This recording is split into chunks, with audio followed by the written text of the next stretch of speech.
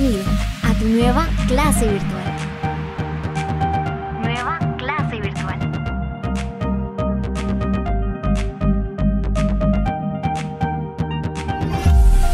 Les voy a presentar un, un material que, que, que necesito que, que, veamos y que vayamos, este, que vayan tomando notas. Eh, de, de, lo que, de los, las recomendaciones que les voy a dar. También vamos a hacer un ejemplo de uso de normas APA. Entonces, eh, si tienen ahí su material y si pueden, este, su archivo, ¿verdad? Si lo tienen ahí, si pudieran hacer el ejercicio sería bueno si tuvieran la referencia. Entonces, eh, les voy a compartir mi pantalla.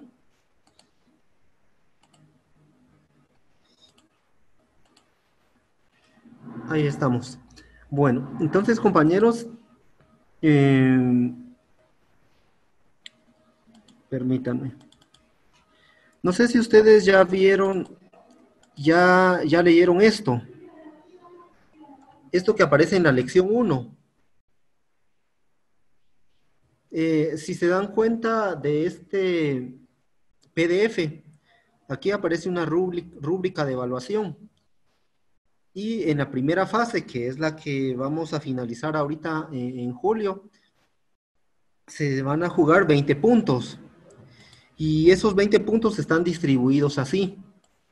Tres puntos de los antecedentes, tres puntos de la justificación, dos puntos de los objetivos, 10 puntos del marco teórico y dos puntos de la bibliografía o egrafía.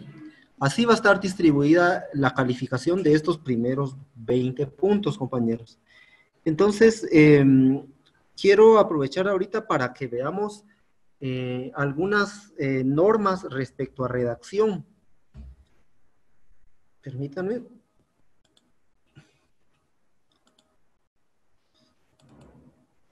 Eh, conseguí aquí un manual que me ha parecido muy útil, en realidad es de una universidad, es de Universidad Panamericana, pero eh, está muy, muy exacto y muy acorde a, a, a, este informe que ustedes van a realizar. No sé cómo hayan realizado ustedes o cómo estén realizando su informe de seminario, pero eh, eh, yo sí necesito eh, que ustedes tomen en cuenta, en cuenta estas reglas básicas de redacción y estas reglas básicas de redacción van a ser calificadas, ¿sí? En todo lo que ustedes eh, presenten. En primer lugar, la exactitud, ¿sí? Eh, la exactitud consiste en expresar la idea que se quiere y no permitir que el escrito tenga una interpretación distinta. ¿sí? Ustedes van a escribir, ¿verdad? Pero más personas van a leer lo que ustedes escribieron. Y exactitud significa que eso que ustedes escribieron se interprete exactamente así como ustedes quieren que se interprete que no dé lugar a otra interpretación. Entonces, cuando ustedes eh, logran eso, a eso se le llama ser exactos, ¿sí? Se llama que la redacción es exacta. Aquí dice que la mayoría de los casos de inexactitud ocurren con los posesivos, ¿sí? Los demostrativos y los relativos. Aquí hay un ejemplo de inexactitud. Esto está mal escrito. Dice, el perro de mi hermano, al que le cortaron las orejas ayer, se pasó toda la noche quejándose. Esto es incorrecto porque ustedes pueden, pueden al momento de redactar, pueden, pueden estar diciendo, el perro de mi hermano, ustedes entienden que su hermano tiene un perro, pero alguien que lee esto puede decir que ustedes le están llamando perro a su hermano, ¿verdad? ¿Sí? Entonces, esto es incorrecto. No sé si lo, lo, pueden notar, pero es bastante claro de que tiene muchas interpretaciones. ¿Cuál sería la forma correcta para que no se malinterprete y se piense que, que, que, le están llamando a, otra cosa lo que no es? Lo correcto sería esto. Mi hermano tiene un perro al que le cortaron las orejas ayer y se pasó toda la noche llorando. Se entiende exactamente que están hablando no del hermano de, la persona, sino de, de, la mascota de la persona y que a esa mascota le cortaron las orejas. Eh, aquí se entiende y no da lugar a otra interpretación. Aquí sí se puede entender que sí, tal vez sí es la mascota del hermano o tal vez le están llamando perro a, su hermano, ¿verdad? Entonces, aquí hay ejemplos de inexactitud, entonces ustedes vayan viéndolo, vayan leyéndolo, cuando ustedes redacten algo, imaginen después de que ustedes no lo redactaron, léanlo, imaginen que no es, que es un escrito de alguien más, léanlo y vean si de verdad se entiende como ustedes quieren que se entienda. Entonces, em, eso es con relación a la exactitud. Claridad. La claridad es la expresión de una sola idea central. Y eso lo vamos a ver más adelante cuando veamos la redacción de los párrafos. ¿sí? Entonces, la idea es no mezclar varias ideas en un párrafo. Los párrafos, mejor si en cada párrafo hay una única idea. ¿sí? A eso, se refiere la claridad. ¿sí? Las ideas tienen que ir ordenadas y las ideas están ordenadas cuando hay una idea única en cada párrafo, ¿sí? Sencillez se refiere a la forma de expresar las ideas eh, como a las palabras que se emplean, ¿sí? No, no emplear eh, palabras rebuscadas, ¿sí? Em, desconocidas o poco claras, ¿sí? Aquí hay un ejemplo. Es decir, eh, aquí al final, compañeros, eh, eh, ustedes no, a veces por tratar de impresionar, nos ponemos a, escribir palabras, palabras poco, poco usadas, palabras que, pueden, que, no, que no se manejen. Entonces, recuerden que este informe lo, lo, lo voy a leer yo lo va a leer la directora, probablemente lo lea la supervisión, se va a leer en la comisión de evaluación. Entonces, eh, no usen palabras rebuscadas, ¿sí? Aquí hay un ejemplo de, cómo sería un texto oscuro donde se usan palabras rebuscadas. Elena considera que su nombre ha sido mancillado y que, y que tan proterva acción es el resultado de la inquina que se le tiene. Pues se podría escuchar, es una persona muy culta, pero no es, el lector no está entendiendo nada, compañeros. El lector no está entendiendo esto. Aquí hay un ejemplo de, sencillez. Elena considera que su nombre ha sido manchado, eh, mancillados es manchado, ¿ah? y que tan perversa acción, perversa es, lo, es perversa, ¿verdad? Se debe a la mala voluntad que le tienen que le tiene. Entonces, compañeros, eh, tratemos de, usar eh, palabras sencillas. Eh, yo estaba pensando, pues es, informe de práctica, ¿verdad? Y pues por ustedes ser peritos en computación, pues sería bueno que sea un, lenguaje técnico, usar un lenguaje técnico. Sin embargo, compañeros, las personas que van a leer esto no, no son informáticos, ¿sí? Entonces, si ustedes van a escribir palabras muy técnicas, sería bueno eh, aclararlas, ¿sí? Aclarar eh, las palabras que, ustedes consideren eh, que, que, no, que una persona que no es informática no la va a entender, ¿verdad? Un ingeniero sí lo va a entender, ¿verdad? Pero un educador, por ejemplo, probablemente no entienda qué signifique HTTP, por ejemplo, ¿ya? Entonces, eh, eso es con relación a la sencillez. Tratemos de, que nuestro texto sea sencillo, no tanto de impresionar al lector. Intentemos más comunicar, ¿sí? Que entienda lo que se está leyendo, ¿sí? Otro aspecto, compañeros, es la originalidad, ¿sí? Que seamos auténticos, ¿sí? Que no copiemos de otro lado.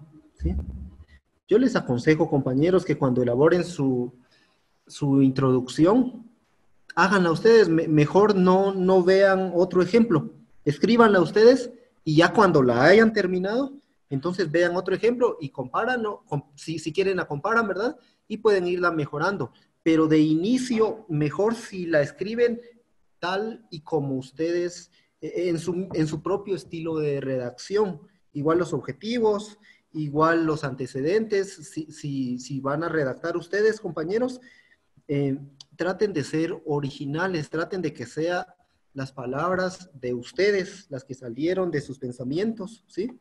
Porque lo que he visto que hacen algunas personas, y es muy triste, porque no solo lo he visto eh, con, con, estudiantes como ustedes, yo lo he visto en compañeros míos de maestría, por ejemplo, compañeros que han estudiado conmigo maestría, que lo que hacen es buscar una introducción bonita y ya solo le comienzan a cambiar las palabras, a modificar de unas cosas y ya es su introducción. Eso no es nada original, compañeros, y eso hasta es un insulto a nuestro intelecto, compañeros, porque nosotros tenemos la capacidad de comunicarnos, nosotros tenemos la capacidad de, de expresarnos de forma escrita. Y en lo personal, yo prefiero mil veces algo que sea mío, aunque no sea eh, una redacción increíblemente buena, pero que sea lo que yo escribí, ¿sí? Que sea lo mío. Eso no significa entonces que sea, esté mal hecha, ¿verdad? Lo, lo que les aconsejo, compañeros, es que escriban ustedes, revisen varias veces y después cuando ya tengan terminado su, su, artículo, lo que escribieron, la carátula, la introducción, perdón, los objetivos, eh, la justificación, cuando ya lo hayan terminado, revísenlo varias veces y si consideran que, está, que le falta algo así, podrían ver algunos ejemplos y, tomar ideas, ¿sí? Pero ya solo ideas de algo y que, que les va a ayudar a mejorar lo que ustedes ya tienen. Entonces, traten de ser originales, compañeros, ¿sí? Aquí habla de la estructura del párrafo, ¿sí?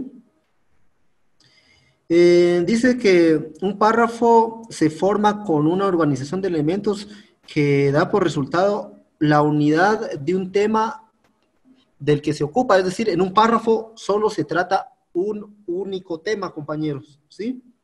Si ustedes van a tratar otro tema, ya es otro párrafo, ¿sí? Aquí podemos ver de que, de que cada párrafo tiene una idea principal, ¿sí? Y, se, eh, y esa idea principal se expresa eh, en, en, una oración, ¿verdad?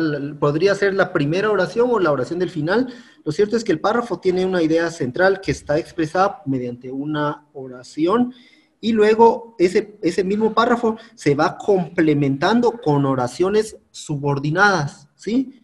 Que, representan la, que, pueden ayudar para ilustrar la idea principal, para ejemplificar, para explicar o para ampliar la idea principal. Entonces, eh, de nuevo le repito, lo, correcto sería que en un párrafo solo vaya un tema y, ese tema tiene una oración principal que es apoyada por ideas secundarias, ¿sí? Por oraciones secundarias.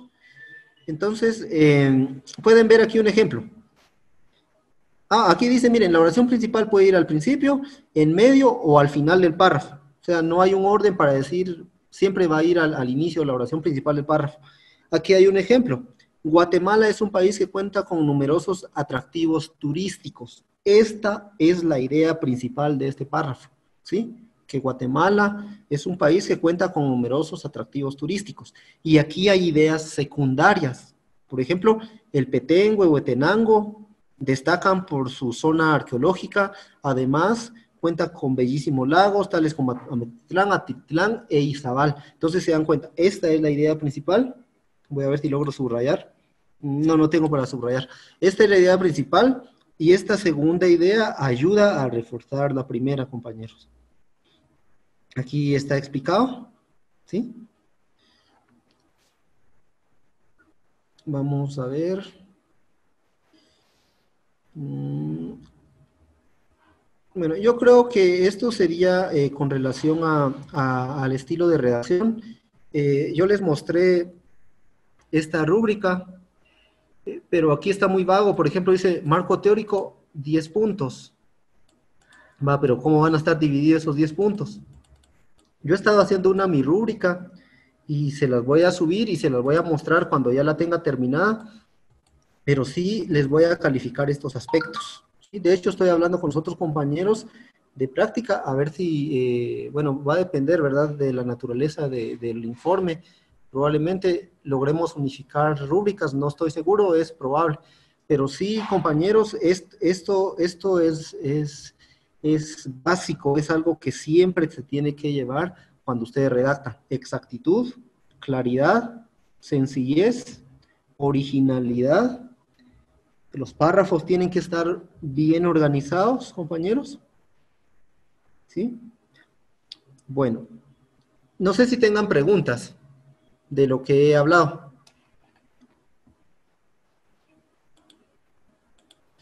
Vamos a ver si escriben aquí en el chat. ¿Alguna pregunta, compañeros?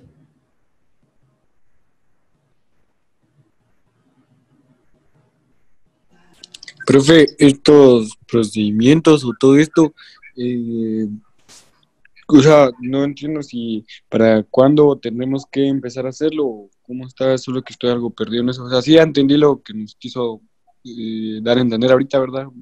Y, pero lo que no sé es cuándo vamos a empezar a trabajar esto o para cuándo, si hay fecha para, para presentar esto. Ah, bueno, eh, muy bien, Marco.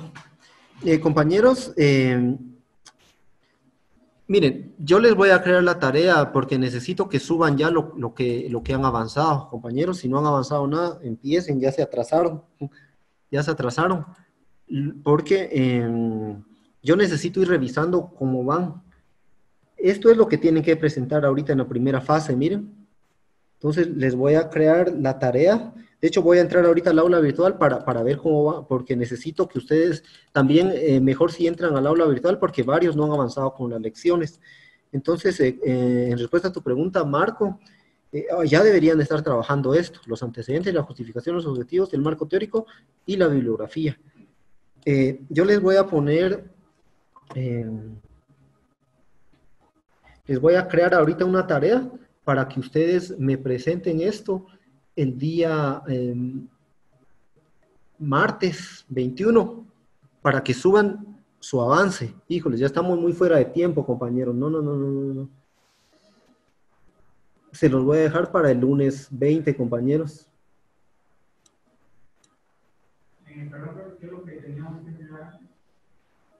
¿Lo que tenían que entregar? Ajá. ¿Qué es lo primero?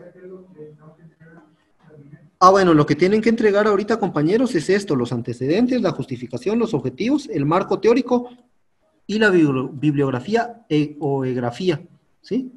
¿Y va a subir este documento? Este documento ya está subido, compañeros. ¿Saben qué, compañeros? ¿Por qué no? Eh, Marcos, eh, Marco, perdón, este, eh, les voy a crear ahorita la tarea para que de una vez suban. Yo necesito ir revisando cómo van, compañeros. Entonces, eh, y necesito que ustedes mismos revisen, porque algunos me han dicho que no tienen, que no tienen este, asignado el curso. Y eso necesito que, vean ahorita, porque todos tienen asignado el curso, compañeros, todos. Lo cierto, compañeros, eh, eh, Marco y todos los demás compañeros, el 28 se, yo tengo que presentar los, los informes a la dirección, ¿sí? Pero esos informes ya tienen que estar listos, ¿verdad? Entonces yo voy a hacerles una revisión el lunes y les voy a hacer correcciones y otra revisión el viernes de la otra semana. Es decir, la otra semana me van a entregar dos veces eh, su informe, ¿sí? El lunes yo lo reviso, les digo hay que corregir esto, esto, lo corrigen y lo suben a más tardar el día viernes 25. ¿Sí? Va, entonces, vean aquí en práctica supervisada, compañeros. Eh, vean aquí en mis cursos, compañeros. Y aquí en mis cursos les tiene que aparecer este curso que se llama práctica supervisada. A todos, ¿sí? Y aquí en práctica supervisada les aparece así. Ustedes tienen lecciones. Entonces, aquí en lecciones hay dos lecciones, compañeros, ¿sí?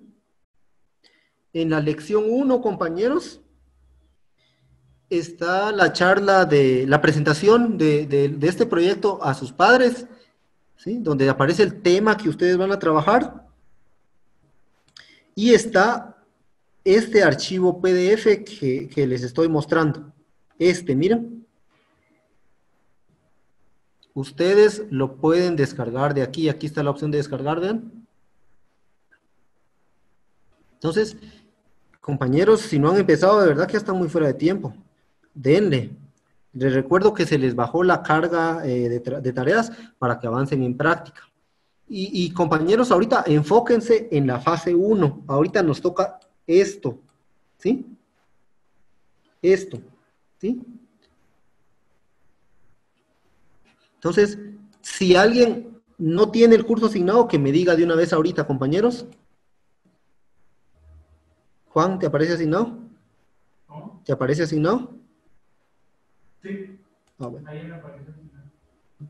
Y ya está la lección 2, vean compañeros. En la lección 2, yo les subí a ustedes eh, una diapositiva donde aparece que es investigación. Esto es como para, para apoyarlos, ¿verdad? Eh, ¿Qué son los objetivos? Eh, que, ya lo saben, ¿verdad? Pero aquí, aquí se sigue definiendo. Aquí eh, están los tipos de objetivos. también les subí un archivo eh, donde se habla del marco teórico. ¿Qué es el marco teórico? Eh, todo esto, miren, ¿ya? Que la seño de, de, proyectos muy amablemente me lo facilitó, ¿verdad? La seño Leslie. Pero eh, aquí, hay, aquí hay material de apoyo para ustedes, compañeros. Está el marco teórico. Eh, hay un modelo, compañeros. Este es para bachillerato. Este, este es el modelo para perito, vean. Hay un ejemplo de cómo tienen que hacer ustedes su informe. Aquí está, vean. ¿Sí? Entonces ustedes tendrían que hacer su carátula. Aquí está el ejemplo, vean. Yo estoy, les puse este ejemplo de investigación, que es un estudio de factibilidad para instalar una red de área local en el campus del Centro Educativo X. ¿Sí? Es un ejemplo, entonces, aquí hay un ejemplo de carátula, compañeros un ejemplo de introducción. Les repito, primero hagan su introducción, después si quieren la comparan ya teniéndola hecha. Aquí hay un ejemplo de antecedentes, ¿sí?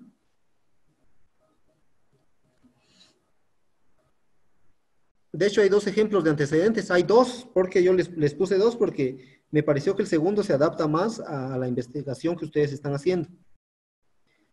Hay un ejemplo de justificación, por favor, no vayan a copiar esta justificación y solo cambiar de palabras, por favor, hagan ustedes su justificación. Aquí hay un ejemplo de objetivos y hay un ejemplo de marco teórico. Vean. Y hay un ejemplo de las bibliografías y grafías. ¿Sí? Entonces, compañeros, quiero preguntarles, ¿A alguien no le aparece el curso? Aquí me escribieron.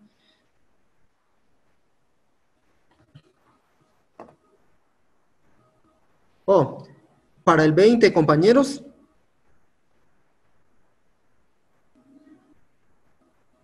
Bueno, eh, aquí me está preguntando Joana, todo es para el 23. Eh, no, yo necesito que el 23 suban todo, suban lo que ya te, lo, lo, que tienen. Súbanlo porque yo necesito revisarlo y, y, ver si hay correcciones, ¿sí? Entonces, si tienen que corregir, corrigen, y el 25 vuelven a subir otra vez, ya con las correcciones que yo les hice, ¿sí? Si no tienen todo para el 20, compañeros, suban lo que tengan, ¿sí? Suban el avance que tengan, ¿sí? Pero ya están fuera de tiempo, compañeros, de verdad que ya estamos, porque el 28 se tiene que entregar, ¿sí? Entonces, eh, por favor, necesito que me digan si a alguien no le aparece el curso de práctica.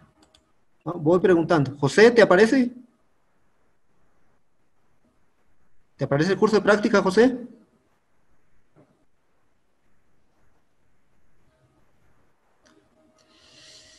No contesta José. Dani, ¿te aparece? Como que no tienen micrófono, creo yo. Mm. ¿Quién que lo metió? Carlos, ¿te aparece el curso de práctica?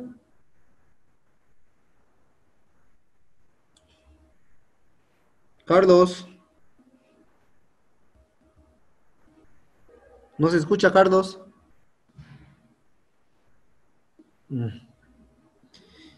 Cristian, ¿te aparece el curso de práctica? Sí, profe. A Kenny también. A Kendy también. Bueno, Dadvirson. ¿Te aparece Dadvirson?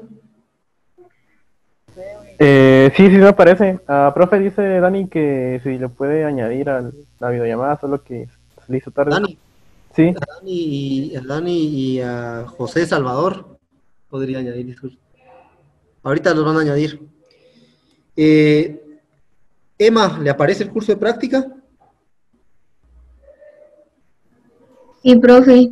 ¿Sí? Sí, ¿No? sí, profe. Ah, bueno, gracias. Eh, Marco, ¿te aparece el curso de práctica? Sí, profe, a mí sí me aparece. Víctor, ¿te aparece el curso de práctica? Sí, profe, a nosotros dos sí aparece. Muy bien.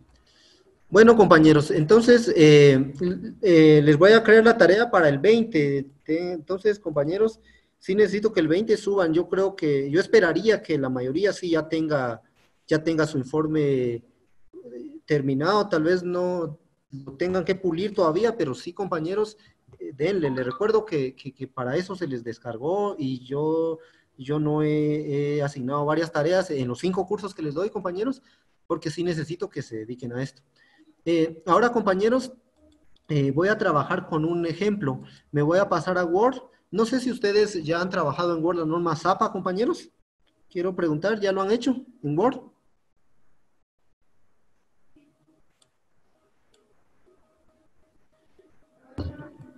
Ya, profe. ¿No? ¿Ya? Sí, ya. Sí, sí. Ah, bueno, de todas formas, pa- para reforzar, veamos un ejemplo ahorita, eh, o, o me dicen ustedes eh, si es necesario o no. Ustedes díganme si es necesario o no. Yo tengo aquí un ejemplo eh, para mostrarles, voy a compartirles mi otra pantalla.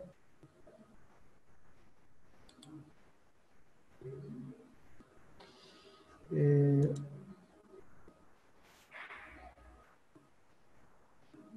Ah, bueno, aquí estamos, compañeros.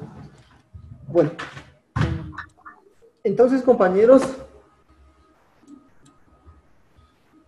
tengo aquí este,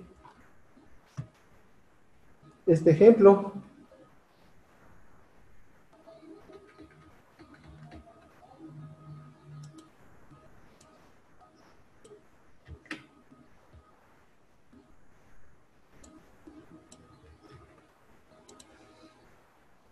Tengo aquí, por ejemplo, estos dos, estos dos párrafos. Esto les, va, les serviría a ustedes para su marco teórico, compañeros. Que, que, les recuerdo que el marco teórico vale la mitad del punteo, ¿sí? El marco teórico vale 10 puntos, ¿sí?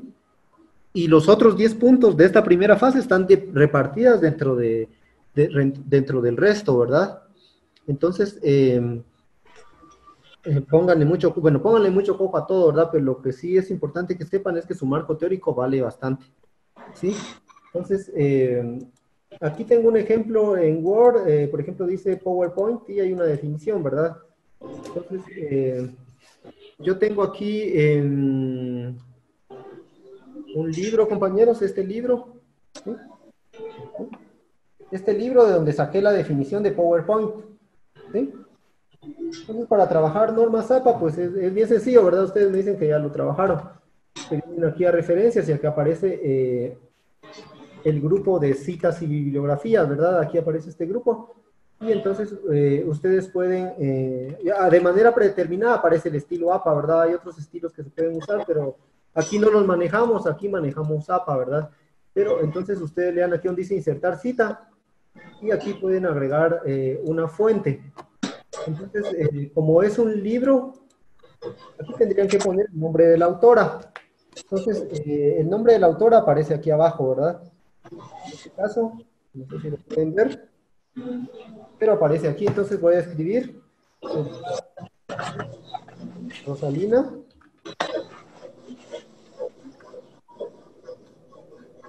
López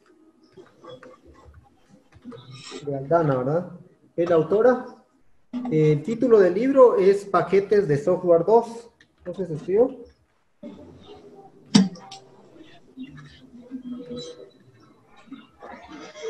El año, el año lo encontramos generalmente eh, en la parte de adentro, ¿verdad? En la, en la primera hoja. En la parte interior de la primera hoja generalmente aparece el año. Aquí dice que es en el año 2011. Entonces aquí pongo 2011. Eh, eh, ciudad, aquí es eh, Guatemala. Está editado por la Universidad Galileo.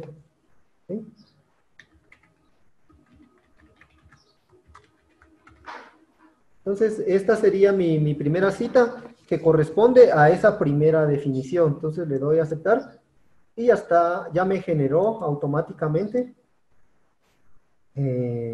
mi, la cita, ¿verdad? Entonces, eh, yo ya sé que esto que está escrito aquí pertenece a, esta cita que, que, que, aparece aquí y que en la bibliografía va a aparecer, ¿verdad? Hasta abajo. Entonces tengo aquí eh, este ejemplo de, de, un libro. Aquí tengo otro ejemplo, pero este es de una página web, es decir, es una e-grafía, ¿sí? Entonces, para trabajar las e-grafías, eh, yo creo que se mira esto, permítanme.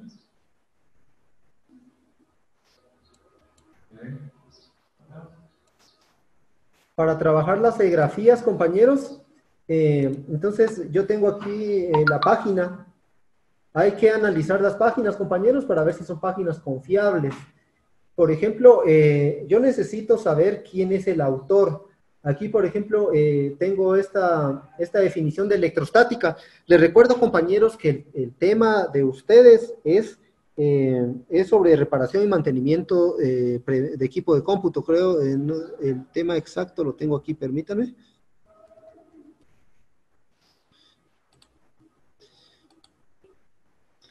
Permítanme. No quiero equivocarme.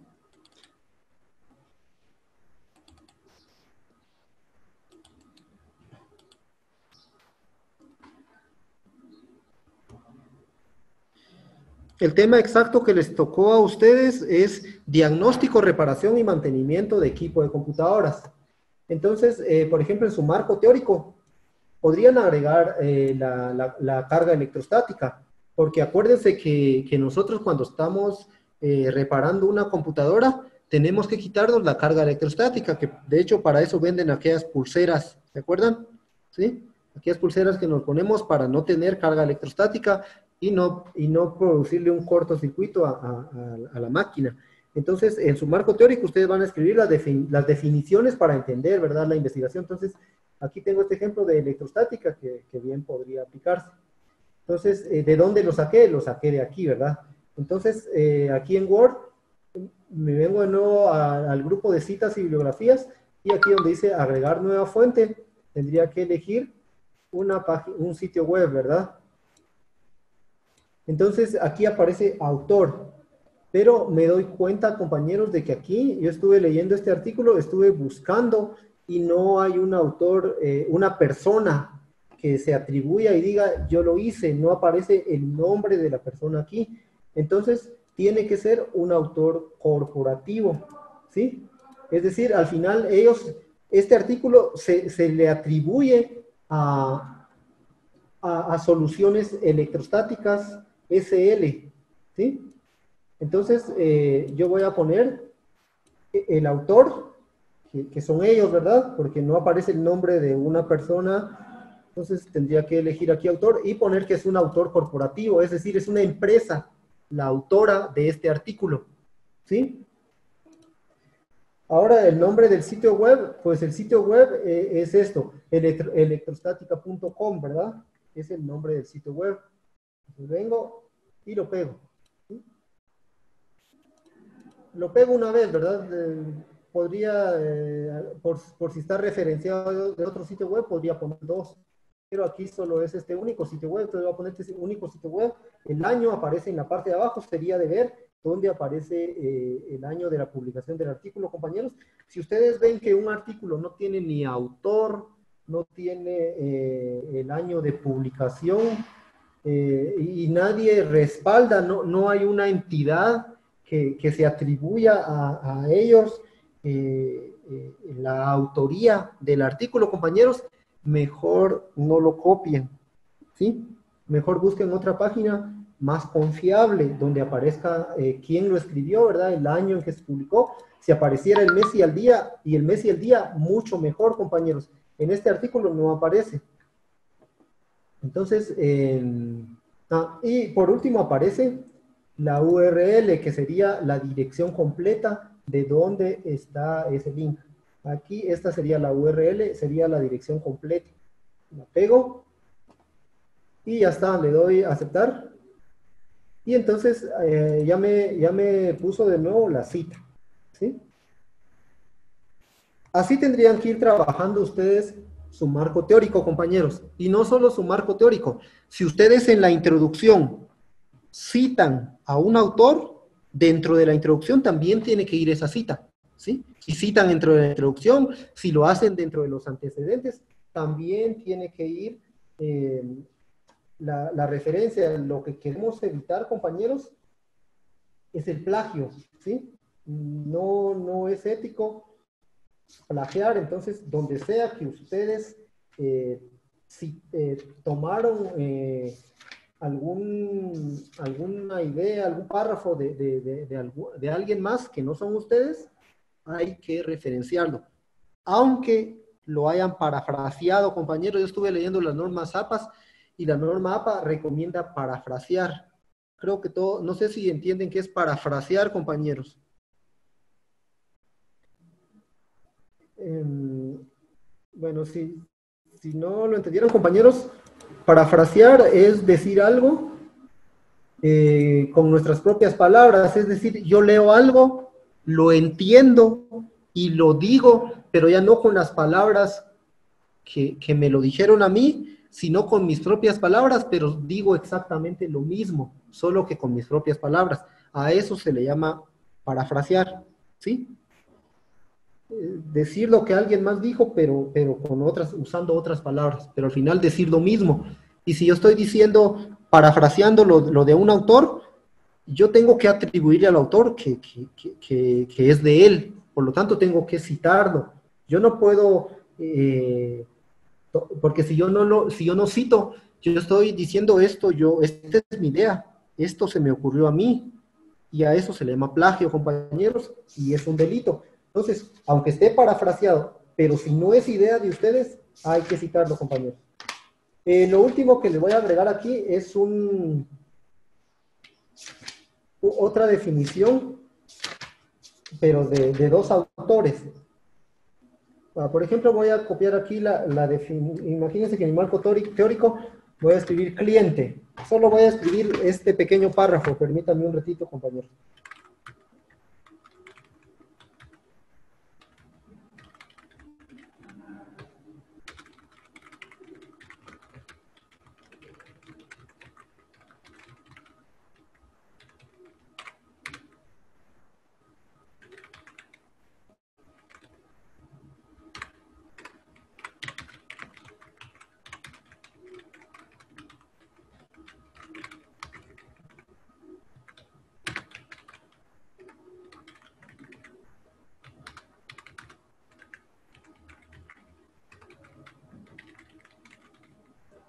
Bueno, para no, que no me lleve más tiempo, le puse puntos suspensivos. Vamos a imaginar que, que ya está el párrafo completo.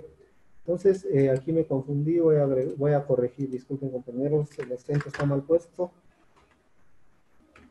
Ahí estamos. Ah, bueno, entonces aquí tengo la definición de, de cliente, voy a imaginar que, me, que es parte de mi marco teórico.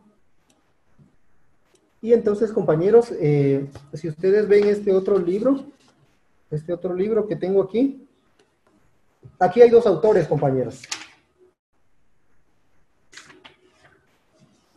Este libro lo escribió, lo escribieron ellos dos, ¿ven?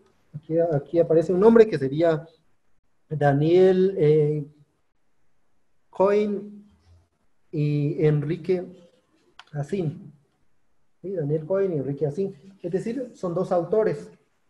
Entonces, ¿cómo hago para meter aquí una, una, cita de dos autores? Sería aquí mismo en referencias, compañeros. De verdad que Word nos ayuda mucho, nos, está, nos ayuda mucho para, para esto. Entonces, eh, agrego una nueva fuente y como son dos autores, tendría que darle aquí en editar. Y entonces me abre esta, este otro cuadro de, esta otra ventana, perdón, o formulario, ¿verdad? Entonces agrego aquí, eh, por ejemplo, el primer autor que sería eh, Cohen, aquí sus apellidos, ¿verdad? Eh, Karen, el nombre es Daniel. Y no tiene segundo nombre aquí, solo aparece así, te lo voy a agregar. Y ya me aparece aquí, ¿verdad? Ahora la otra persona que es Enrique Asín Lares, sería Asín Lares. Enrique, ¿verdad? Y le doy a agregar y aceptar. Entonces ya tengo agregados los dos autores, ¿verdad? Es, como son nombres de personas, no es autor corporativo, ¿verdad? Autor corporativo es cuando es una, una empresa, ¿sí? O una organización, cuando ellos se atribuyen la, la autoría de un escrito, pero en este caso no, no es eso, sino que es, son personas. Entonces, eh, oh, perdón, aquí me confundí, eh, tengo que cambiar al libro, ¿verdad? Ahí estamos. Tenía sitio web, eh, cambio a libros, y aquí escribo el título del libro. Este libro se llama Sistemas de Información para Negocios. Entonces escribo Sistemas de Información para Negocios. Eh, el año aparece, habría que revisar, aparece en este caso en la tercera hoja, aquí aparece el año. Entonces, eh, fue en el 2005, entonces sería año 2005. ¿no? Aquí aparece la ciudad también y es México. Aquí aparece eh, México. Y la editorial, la editorial aparece aquí, aquí. ¿Sí? que sería eh, MC Grab Hill Interamericana. Y ya está, compañeros, entonces agrego y entonces ya tengo agregada, ya tengo citados mis tres párrafos, compañeros. En la bibliografía ya sería súper fácil, ¿verdad, compañeros? Cuando trabaje la, bibliografía o la egrafía. Entonces, eh, en la parte de abajo, que tendría aquí la bibliografía y egrafía, pues ya es bien sencillo, ¿verdad? Solo me voy a referencias. Y aquí donde dice citas eh, donde dice bibliografías, entonces, este, bueno, tendría que insertar como referencia, porque creo que si solo le doy bibliografía, me va a poner solo los libros, veamos. O no, sí me, me puso los tres. Entonces, como pueden ver, compañeros, aquí ya, ya, ya tendría terminado automáticamente la, la- la bibli- bibliografía o grafía, ¿verdad? ¿Sí? Entonces, eh, supongo que esto ya lo sabían, compañeros, eh, pero me pareció eh, necesario hacer un ejercicio, compañeros. Entonces, no sé si tengan preguntas, compañeros.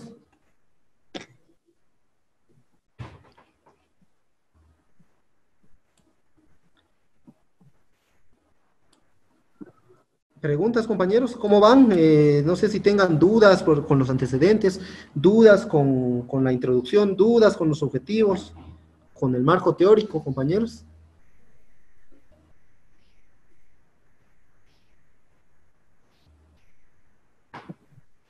Voy preguntando uno por uno, compañero. Vamos a ver, alguien escribió.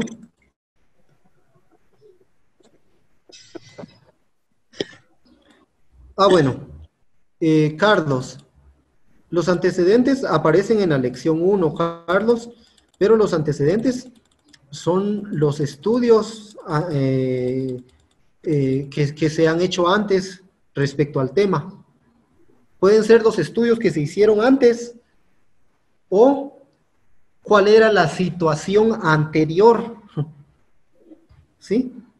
Por ejemplo, eh, en el ejemplo que, que yo le subí en PDF, que es la implementación, la, eh, es un estudio de, de factibilidad para la implementación de un sistema de- de- de redes, creo que es. En el ejemplo que les mandé, que, que les, que les subí, ahí los antecedentes, en los antecedentes se explica cómo estaba la empresa antes, antes de, implementar o de querer, de querer hacer la, im- la implementación de un nuevo sistema de información. Entonces, los antecedentes es, el mismo nombre le dice, lo que estaba antes. ¿Cómo estaba antes eh, la empresa o, cómo estaba eh, eh, sí, la empresa, la organización o la situación antes? ¿O qué estudios se han hecho antes? ¿Qué estudios previos existen? Ustedes tienen que investigar, ponerlos y referenciarlos, ¿verdad? Con normas SAP. ¿Sí? No sé si estamos claros ahí, Carlos. Se cerró. No. Ah, bueno, ¿estamos claros, Carlos? O no sé si te dejé con la misma duda o...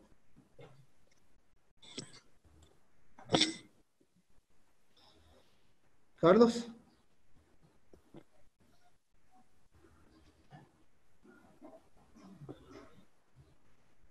Aquí hay un ejemplo, miren, para, para,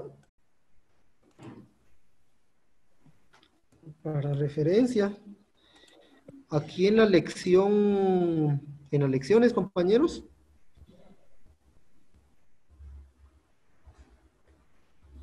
En la lección 2 hay dos ejemplos de antecedentes. Aquí está el modelo. Entonces, aquí hay un ejemplo de antecedente, vean. ¿Ya? Hasta 1998, la infraestructura informática de la institución operaba bajo un esquema centralizado. Entonces, está explicando cómo estaba antes. O sea, porque a partir de aquí surgió el problema y la necesidad de, hacer este estudio, de hacer un estudio de factibilidad. Yo creo que aquí está mal escrito, factibilidad, creo que es con B alta. Mm, No estoy seguro. Para instalar una red de área local en el campus central. Entonces aquí en los antecedentes se está explicando cómo había funcionado el sistema de información antes. ¿Sí? Entonces, eh, yo les puse otro ejemplo. Es este otro ejemplo.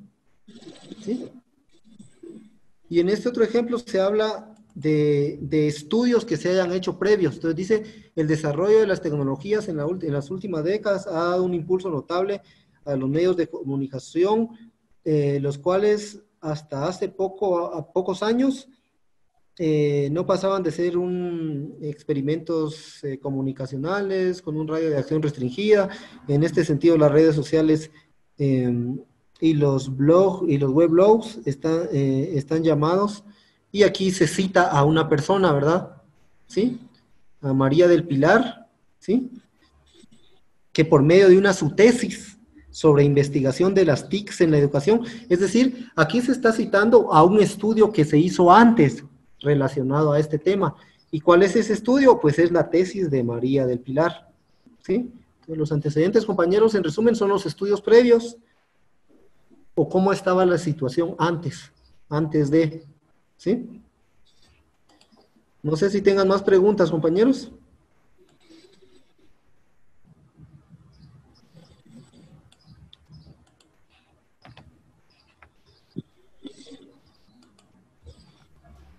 En mi caso que va a ser lo de el ensamblado, ¿qué tendría que buscar en los antecedentes? ¿Cómo se ensamblaba antes? Eh, podría ser cómo se ensamblaba antes, qué tipos de ensamblado se han hecho, ¿ya? Eh, sí, eh, previamente cómo, cómo se ha trabajado, quién más lo ha hecho, cómo lo ha hecho, ¿ya? Yo Y en el marco teórico tendrían que ir los componentes y, ¿y qué más tendría que ir? Ah, bueno, en el marco teórico, compañeros, lo que ustedes tienen que poner son las, las los términos con su definición de, de los términos que ustedes consideren que son necesarios para entender el problema o el proyecto. ¿Sí?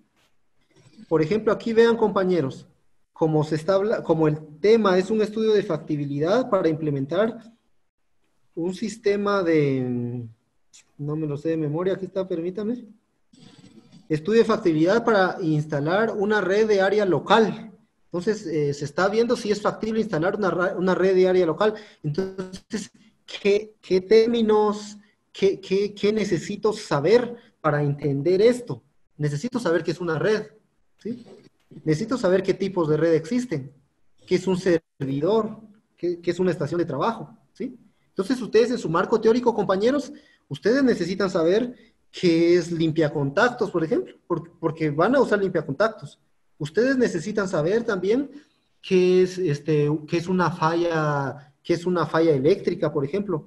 Necesitan saber eh, qué, mm, se me ocurre, mm, qué es, qué es carga electrostática, lo que yo les decía, ¿sí? Necesitan saber también qué es tarjeta madre, qué es disco duro, porque ustedes van a, van a hacer, eh, su proyecto es sobre, sobre limpieza, ¿verdad? Sobre, sobre hacer eh, todos los pasos de, mantenimiento preventivo y correctivo. Entonces nece- necesitan, necesitamos que, que aparezca en el marco teórico tarjeta madre, disco duro, eh, necesitamos también fuentes de poder, tipo de poder, ¿ya? Todos los términos que ustedes consideren necesarios para que el lector entienda bien. Voy a buscar el, el tema, permítanme. Para que el lector entienda bien este tema. Por ejemplo, ustedes necesitan en el marco teórico escribir qué es un diagnóstico, ¿sí? ¿Sí? ¿Qué es reparación? ¿Qué tipos de reparaciones existen? ¿Ya? ¿Qué es una computadora? ¿Ya? La idea del marco teórico, compañeros, es de que ahí estén los términos eh, necesarios para que el lector entienda el proyecto, ¿sí? Ustedes saben de qué se trata su proyecto, ustedes entienden todo esto, pero si lo lee un educador, si lo lee una secretaria, tiene que entender esto. Entonces, ustedes tienen que poner en su marco teórico los términos que necesitan para que se entienda bien el, problema o, o el proyecto que se va a implementar. ¿Sí? No sé si estamos ahí, Víctor. Aquí está en el ejemplo, mira. Eh, sí, profe, ya, ya entendí. ¿Alguien más, compañeros?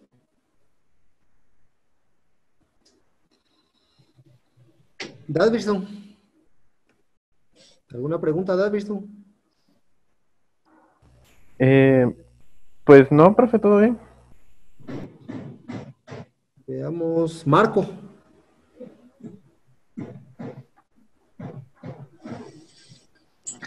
Pues no, profe, más, o sea, ahí más o menos le voy agarrando el rollo, pero ahí está muy bien.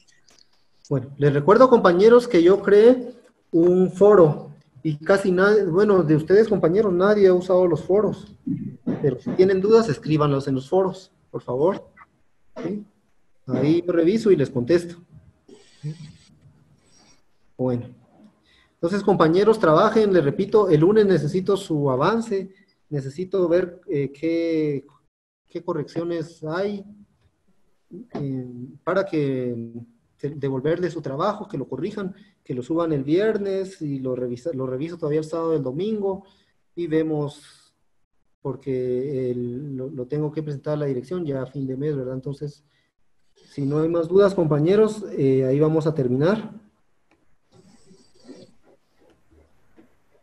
Bueno, entonces les agradezco por haber estado, compañeros, y feliz tarde.